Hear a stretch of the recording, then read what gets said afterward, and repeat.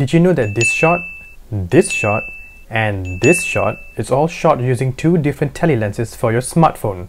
Let me explain. What's up guys, welcome back to KL Honest Guide. My name is Razif and today I'm going to do a comparison between the uh, two tele lenses, the Ulanzi 65mm tele lens and the Apexel 2x tele lens.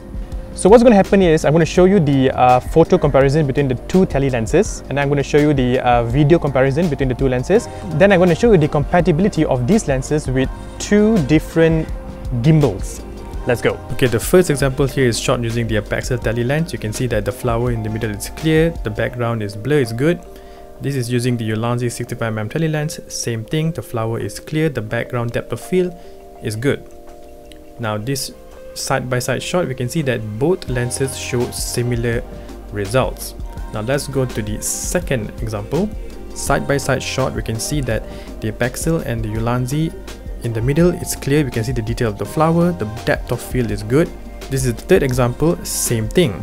The middle of the flower is crystal clear, the depth of field, the background blur is acceptable. Things starts to get interesting when we have a wide shot of a subject, like this example here, with the Apexel tele lens, everything is clear, the edges are okay, acceptable, the middle is clear. But with the Ulanzi, now the middle of the clock is crystal clear, but the edge here is soft, it's blurry. This is shot using the Apexel. You can see that everything is clear, the edges is okay. This is shot using the Ulanzi. The edges are soft. The second example here, I'm panning to the left, so focus on the boy with the orange shirt here. You can see that with the Apexel lens, it is clear. The edges are okay, the middle is okay. But when I'm used the Ulanzi, as I pan to the left, focus on the boy with the orange shirt.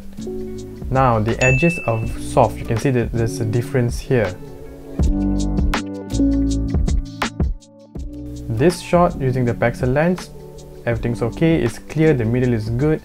Overall edges are fine.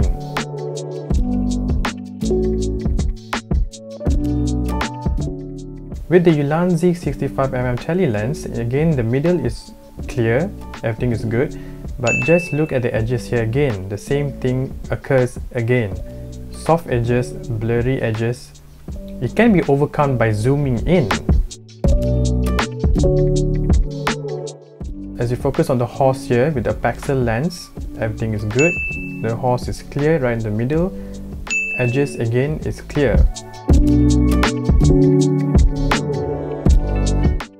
But with the 65mm tele lens, now focus on the horse. You can see that it is blurry. The edges is soft, it's blurry. The horse in the middle is clear, crystal clear. Also again can be overcome by zooming in. Before we continue, if you guys want to uh, check out how these lenses were used, please watch two of these videos because two of these videos was shot using the Ulanzi 65mm tele lens and two of this video is shot using the Apexel tele lens. Check them out.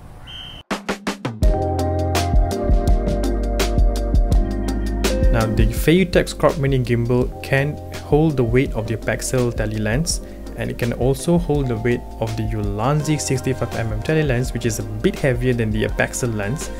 But as you can see here the lens is mounted in this way.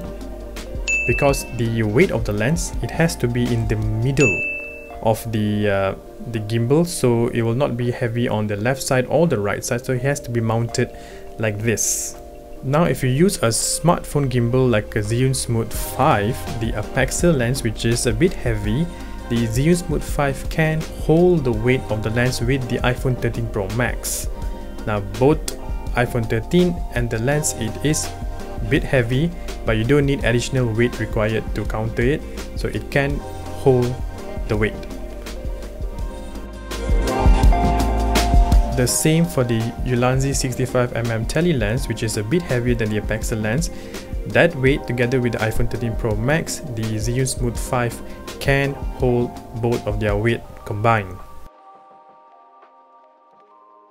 So guys, that's it for today's episode. Hopefully you liked what you just watched today. Hopefully uh, you have a clear decision which lenses you want to get. Uh, both lenses can be used with the iPhone 13 Pro Max. There is a slight difference with the uh, soft edges, but both uh, lenses can be used in different situations. I'll put the link on both of these lenses in the uh, description below, check them out, and also the phone case in the description below. That's it guys for today's uh, tech review or phone accessories reviews. I'll see you in the next episode. This is KL Honest Guide, my name is Razif. Stay curious my friends.